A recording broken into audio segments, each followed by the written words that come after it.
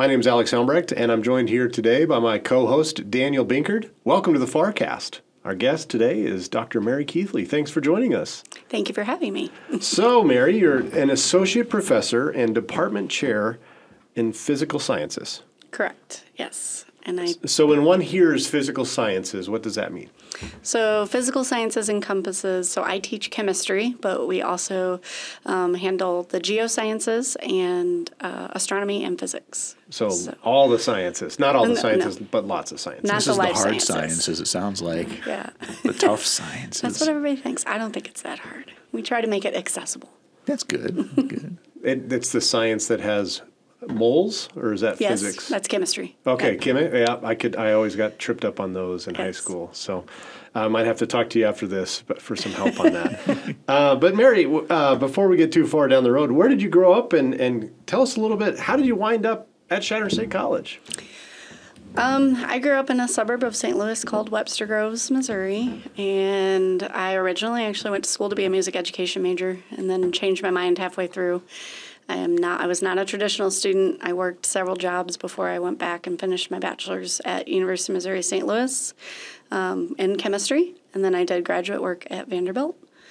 And once I finished, I taught for two years at Missouri Southern State University in Joplin, and was looking for kind of small, even smaller town. And everybody's like, Joplin is small. It's a town of, but it's still a town of 50,000 compared to here. Oh, that's huge So, by Nebraska yeah, standards. Yeah. so we, we wanted kind of a, a smaller location, and I was looking for a different type of program to teach in. And so when the job opened, I came and interviewed here on what ended up being a snow day with classes canceled, and the students all showed up to come see me teach anyway. And so it kind of let me see what the students and the the campus was like. We got some dedicated students. Yeah. Absolutely. Yeah. That's actually really cool. I did not know that. Oh, yeah. When you had your demonstration, they sh- they still showed up. That's awesome. They did. It was a packed. It, I mean, it was an entire full room of lecture hall students on Excellent. a closed campus day. So Now, what year was that? 2018, 18. Yeah, I suppose that sounds April, right. April of 2018. Yeah, that's yeah. we usually have a snow day at least in March or April. Yeah. one Yeah. day. Yeah, so- tradition. When I came in on the little the little airplane, the ice was starting to come in, and everybody's like, "Did you enjoy the flight?" I'm like, "No." Yeah, 'cause no. I don't like little airplanes. So you survived the flight. You survived a snow day. Yeah, it, it was meant to be. you, you just said, "Yeah, I'm coming in." Trial by I'll stay fire. Yeah. yeah.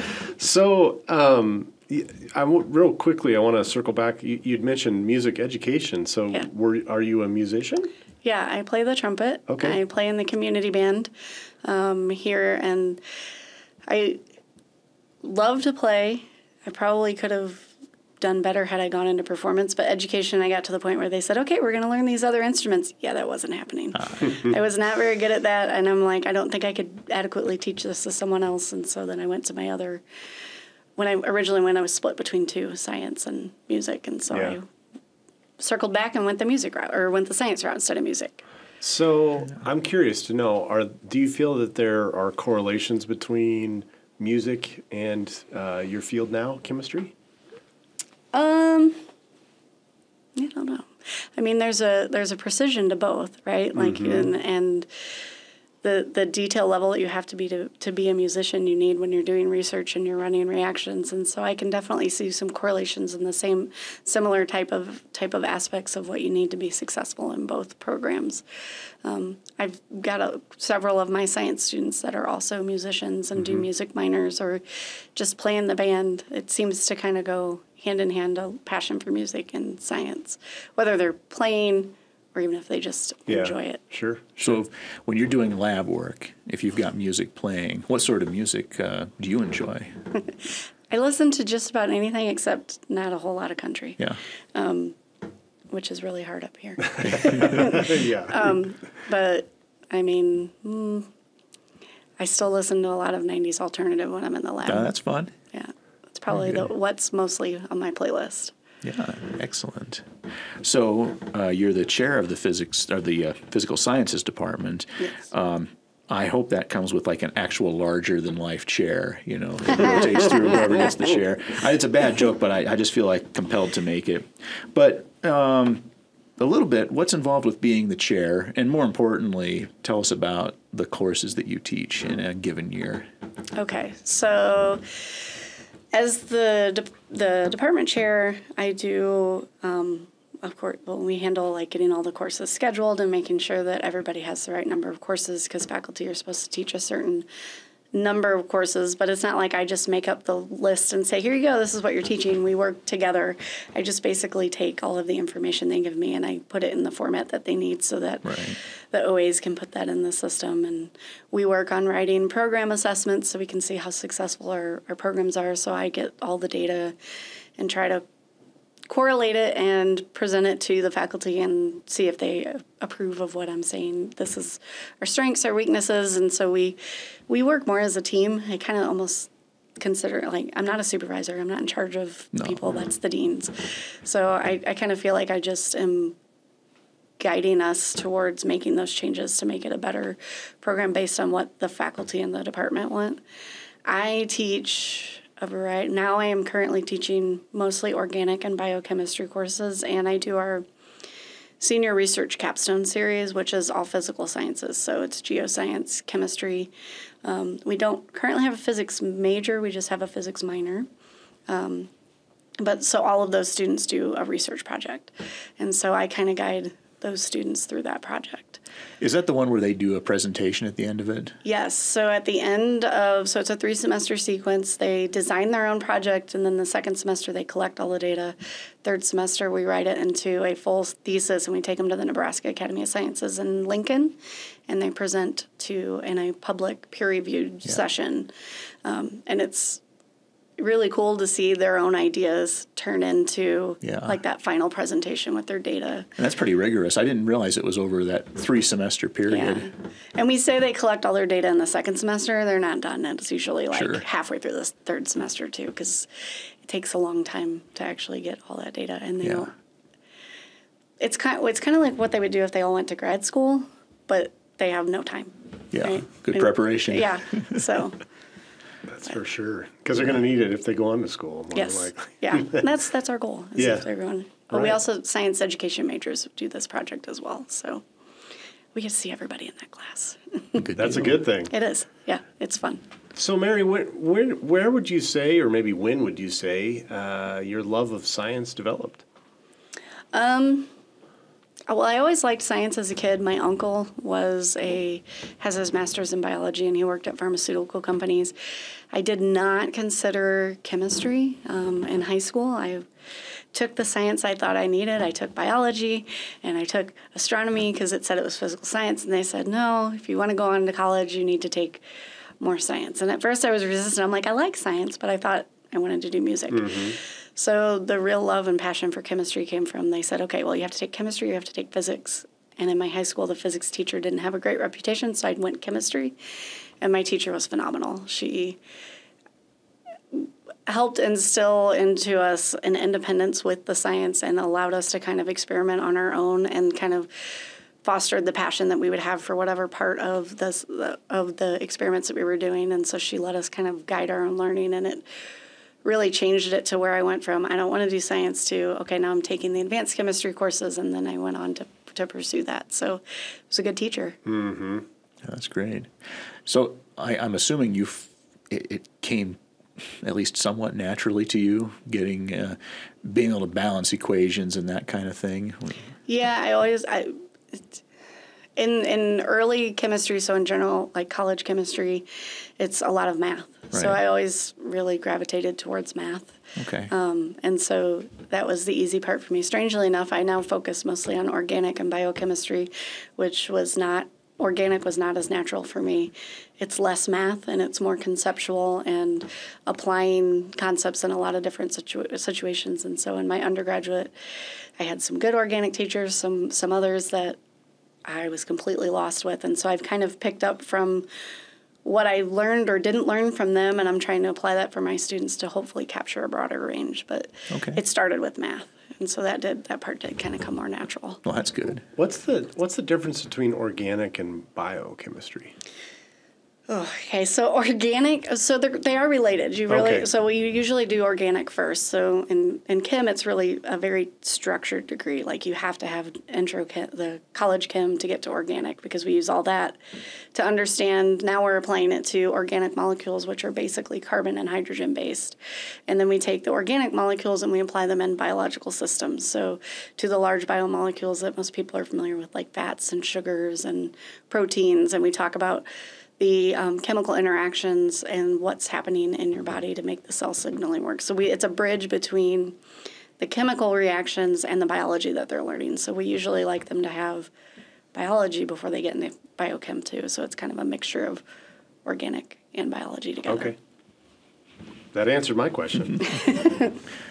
I feel like I I would have to read the uh, introductory materials a, a dozen times, kind of let it sink in, because you know I, I did all right uh, with with basic physics, um, you know, basic trigonometry, and that. So on that side, I was okay. But I remember that maybe it was freshman year science where we had a little bit of chemistry and that, and it just no, it was over my head.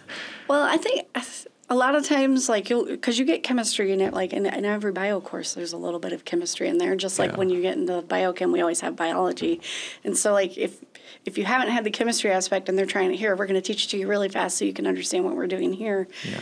It may seem more overwhelming than if you took like an actual chem course oh where yeah, we yeah. can I gotta wonder. give you more more detail and more concepts. So. Yeah, that'd be something to try out. Live my life again and throw that into the mix. Well, just audit a class, Daniel. So That's sign up. there we go. With all your extra time. Yeah, Yeah. I think it'll be fine. Uh, so, Mary, you, last year you were named the Nebraska State College Teaching Excellence Award winner, which is excellent. I'd, I'd forgotten that. Was that recently? Yes. Well done. Thank you. Uh, so from there, obviously the students like you.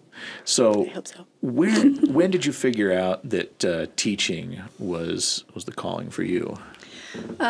So I originally went to Vanderbilt for my PhD because I was going to go work in an industrial, like pharmaceutical company. I wanted to do drug drug discovery, and my first year there, everybody was a TA, and I really enjoyed doing that. And I was like, okay, I could kind of see teaching. And then an opportunity came up for supplemental working in a middle school. So I was a science teaching fellow, and I would go one day a week and I would bring lesson plans and teaching to middle school. And it was working there that I realized I liked teaching, but it was also working there that I realized I didn't want to do K through 12. Yeah. like I, I props to the teacher I worked with. She was amazing. She had great classroom management and had a way with dealing with parents that I I knew that it was not for me. And so then I kind of also started getting more experience at the college level as well. So I did both, but it was Yeah. it was grad school having that experience That's that great. helped me figure it out. And so you did your master's and doctorate at Vanderbilt? So I uh, you, you do you do the master's work when you're getting your PhD, so you don't actually leave with the master's. You just leave with the PhD. You can go do That's nice. A master's and then you can go do a PhD, but a lot of science PhD programs still have you redo a bunch of the master's work anyway. So if you know you're going, you can just do one. So it was just uh, how many years? Five. I did five years. Okay. So that's, I mean, that's a lot. You were Yeah. doing a lot of work. Yeah. Well, it was five. Yeah, five and a half. My, I had it was I would have been done right at five years, but my um, PI passed away, and so I had to get another one, and so uh, finish up with somebody different. So it was a little, little unique, but Yeah. Got through in five and a half years. So is that is that a case when you do the where it's essentially masters combined into the PhD? Are you or do you have like an overarching uh, project that you're working on throughout that whole process? Yeah, so you, we still did coursework. So my first two years, I still did coursework like you would do with a, a typical master's, but you're able to start your PhD thesis project as a first year student. So um, I, I was started working on my project by January of my first year, as opposed to waiting until I was done with my master's and then starting and having to do it all in three or four years separate. So it's kind of everything together. Is there a possibility in that case where like is there a chance that you could go down the wrong road and then have to lose a year or two? Yes, I- I've I- seen it happen. Okay, yeah. I have no idea about this world, so I'm really kind of curious just in that logistics. Yeah, and every every school is different on how they run theirs. So like, um, I was it was unique at Vanderbilt because like you always do a preliminary exam to say yes, you're ready to move on. Okay. and you do and you, then you qualify and then you get your thesis. And so ours was all based off of our project. And so some some other schools it's testing.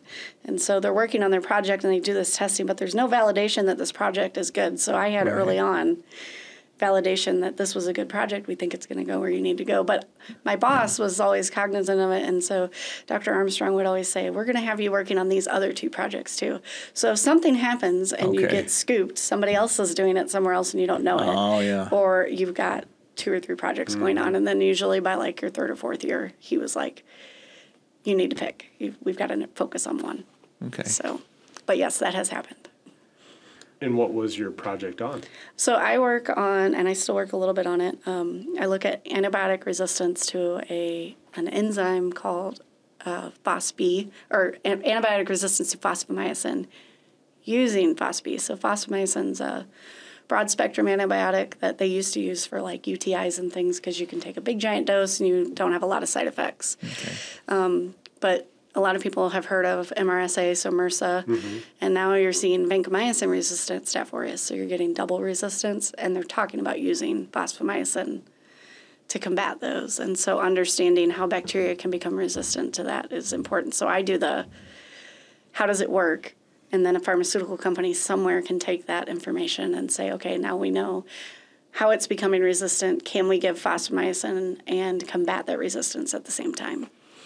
And so, it, because it's becoming more prevalent, it was a interesting project. Oh, yeah, no Yeah. doubt. Sounds yeah, like that, that evolutionary arms race is it's fascinating and terrifying at the same time as Yeah. yeah, as the bacteria evolve to be more resistant to those. Yeah. Oh. And by the time you get new antibiotics on the market, it's al- there's already resistance to it because it takes so mm-hmm. long to get through FDA processes. Mm-hmm. Yeah. So, yeah, they're trying to go back to older antibiotics that maybe weren't overused because it, it's already approved, right? Yeah. They don't have to go Yeah, through that that whole process. Makes sense. Yeah. So, Mary, you're involved with um, study away opportunities. Yeah. Tell us a little bit more about um, what those opportunities have been, uh, and then maybe chat with us a bit about what what do those students take from those experiences. Yeah, um, we did one last March. We took, um, I was teaching physics last year.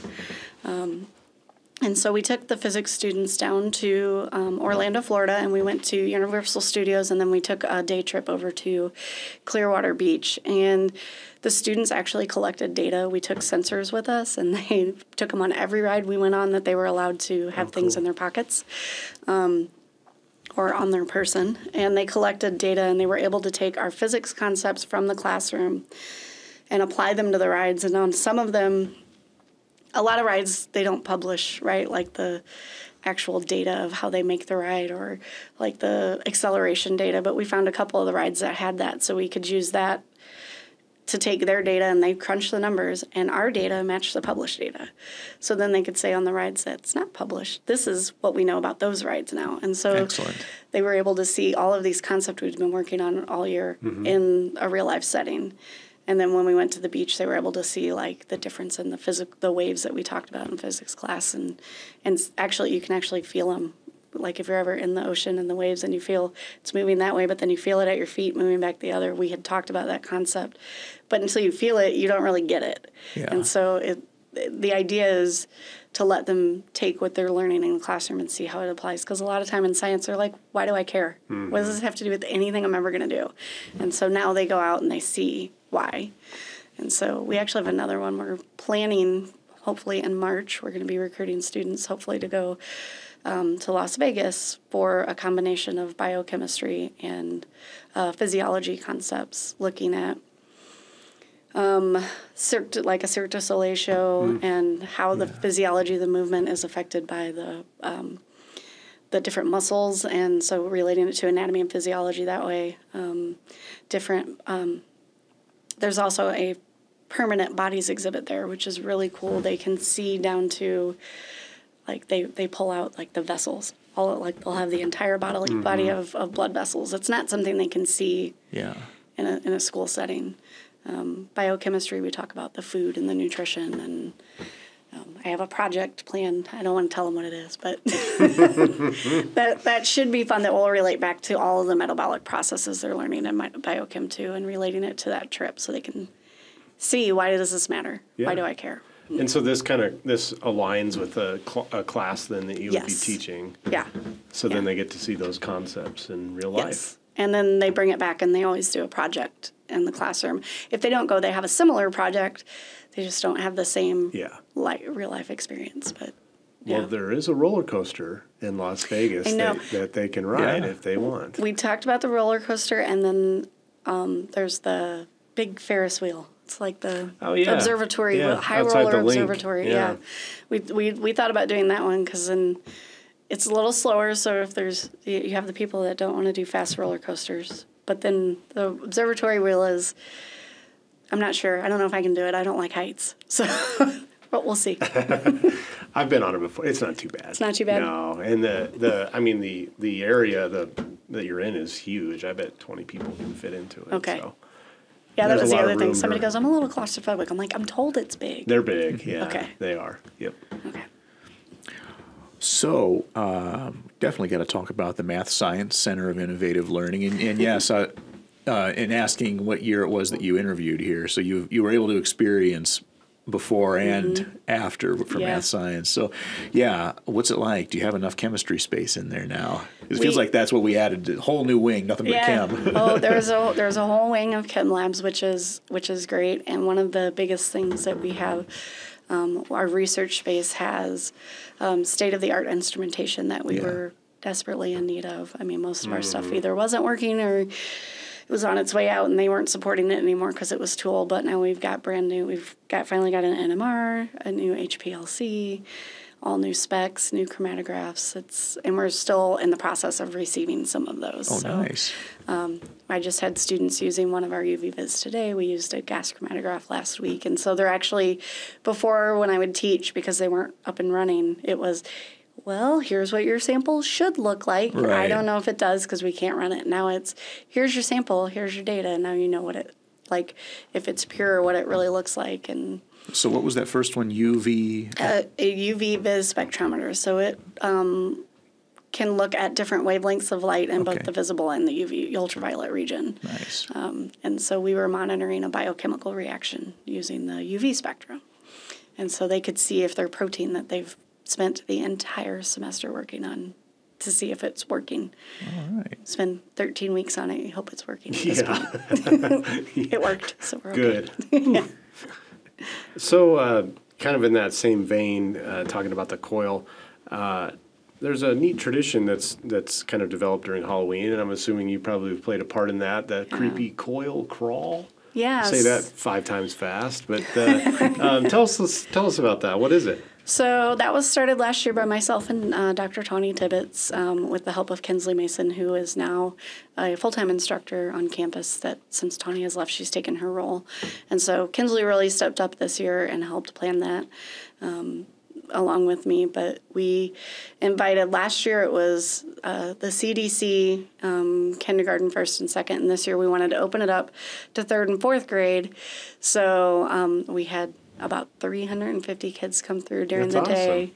Yeah, we had hands-on activity. We had um, so the volleyball team came over, Project Strive, the cheerleaders came. Last year we had some more of the clubs. Um, Health Professions Club came down and did some stuff, but we did it on a lab day this year, so we lost out on a few of the groups because they couldn't be there. But um, we and we had hands-on activities, some science learning. They did some coloring. They went in the planetarium and the geoscience museum, and they trick or treated their way through. So they got candy all the way through, and so um, third and fourth grade had costumes on too, which was a lot of fun.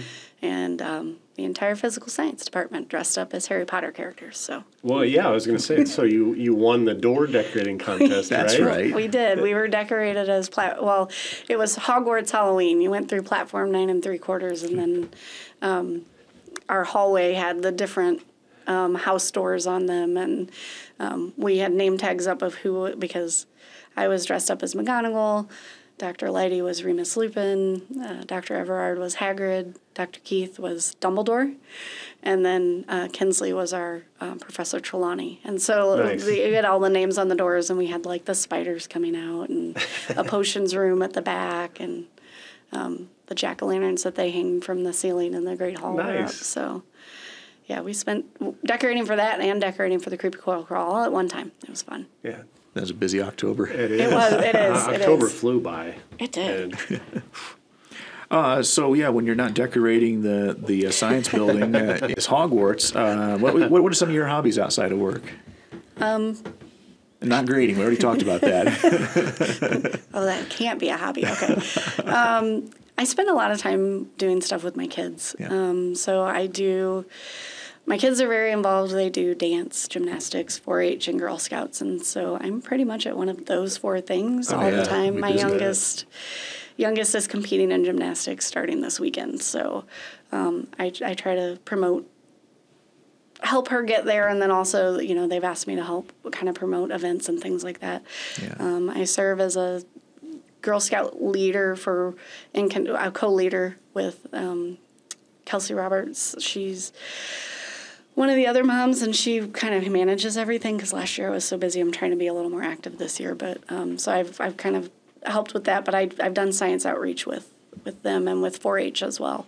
4-h i just go do what they need me to do. I don't have to lead anything it's nice. But personally i don't know watch movies. Sleep. Sleep is good. Yeah, it's You yeah, gotta it's kind of after all important. that. yeah Well, you're also involved with Cardinal Key, but Oh, I suppose yeah. that's in Yeah, work. on campus. yeah, Um, I have Cardinal Key and the chemistry club now. We Mm-hmm. just started one. So, Cardinal Key does a lot of service activities. They're they're they're a great club and they're very self sufficient. I am there when they need help, but they don't ask me for a lot.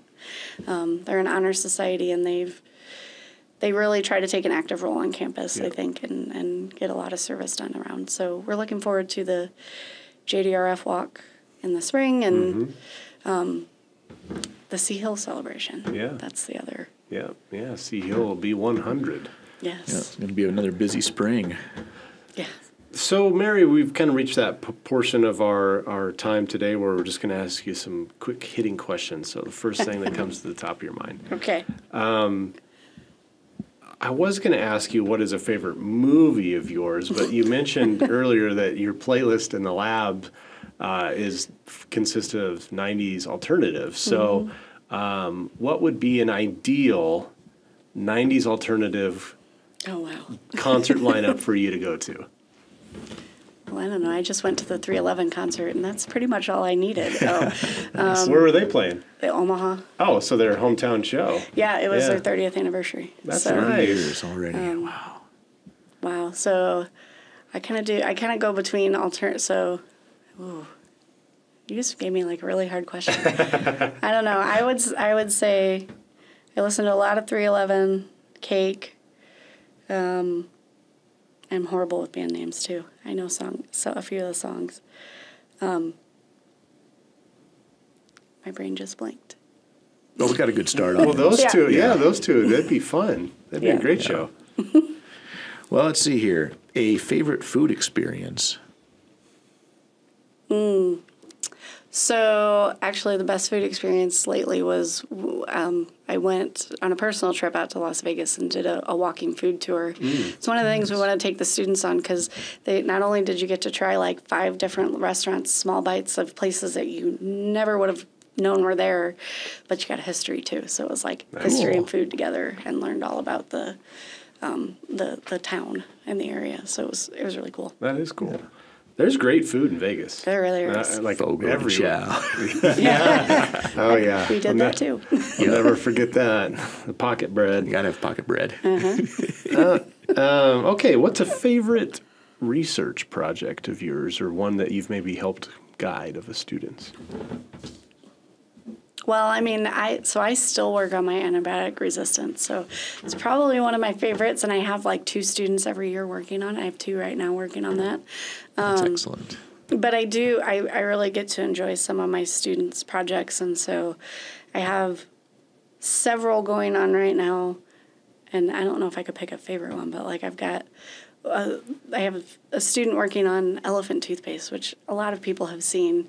It's a it's a chem demo we do in classrooms to teach kids about reactions and catalysts, and so he's trying to make it a more functional demo where you could turn it into an experiment, and he's tooling around with different variables and it's going to make, make a lesson plan out of it. I just like seeing them take that research that we do and make it something effective Yeah. for that K through 12. So Yeah. that's something a little uni- unique. That, that we have going on now. Well, and hopefully have those same connections that, that your high school teacher had with you then too. Yeah. You know, Yeah. that's that's what it's all about. Yes, absolutely. What was some of the best advice that you received as a student? Um, it's okay to say no. It's important. You have Still to is make time. good advice. Yeah. yeah. I'm really bad at it. Um, but uh, yeah, as a student, it was it was don't don't overextend yourself because I always wanted to do everything, and you you you can say no. You need to focus on you, and it's not just about the school. It's about Yeah. a balance between school and personal life. That's true. I, you know, I always think, you know, it better to say no at first than to say yes, and and then have to say no Yeah. halfway through, Yeah. and everything falls apart. Yes. Yeah. Or at least take some time. It doesn't, you know, just Yeah, we don't uh, need an immediate response in a lot of these cases. Yeah, when I've spoken to classes in the past, I've said, you know, you don't have to immediately respond to an email. You can give it some time. I find it helps me. some of them you need to give a lot of time to. yeah. Just think about it. Um, okay, so this is the last one, and this is fitting for the Cardinal Key advisor, who uh, Cardinal Key is uh, instrumental in the lighting of C-Hill uh, every homecoming. But how many times have you been to the top of C-Hill? Oh I'm glad she's not just saying zero. no, That'd be awkward. She's definitely been up there. I, yeah, four. This is my four or five. I've gone up every year since I've taken over as the advisor for C-Hill. I've gone up sometimes carrying my children who have to be at the top but weren't big enough to go. ah, yes. So, um, yeah, and students have carried my children too. So props to the ones that helped out with that. Yes. because I had two and they both wanted to be up there. yeah, and it's a bit of a trek when It- you're lugging up a toddler. It is. It is. So I, I think four Oh, that's because. I didn't do it my first year here. I know that for sure. Well, I know for the centennial, uh, you'll probably get up there I'm sure. do yeah. cartwheels. There we go. Even it No, out. there will be none of that. I'll save that for people much younger than me.